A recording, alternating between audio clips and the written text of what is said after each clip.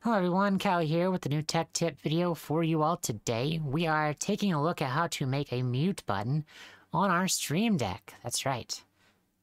Not just any mute button though. How to mute your microphone going out to Discord. Yes, that's right. Exciting stuff. Easy. It's pretty helpful if you're doing collaborations. So, go type hotkey, pull a hotkey function over, now, you could choose anything on your keyboard, but I would recommend going and down to F keys and picking, like, I don't know, F19 and selecting that, okay? And that way, you can't accidentally hit it on your keyboard. Pretty handy.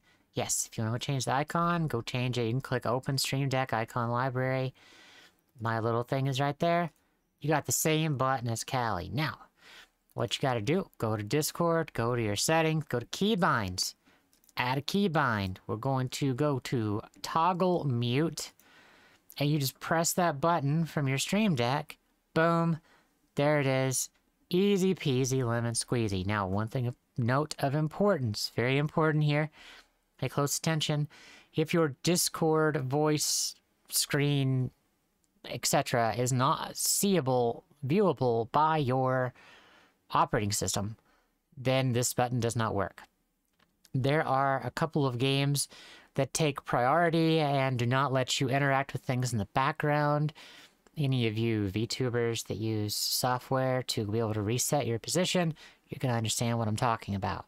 So, got to make sure just to keep an eye on it. It won't work for every game, but it works for most processes.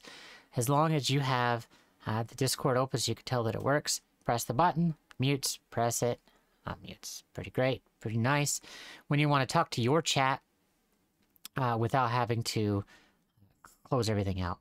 So thank you all for watching today. Uh, shout out to my chapter tier supporters, SK and Crow, and shout out to my novelist tier supporters, Ace and Andy, our new supporter. Thank you, thank you. If you'd like to get some other tech tip videos, you can click what's on screen right now and I will see you all next time. Bye for now.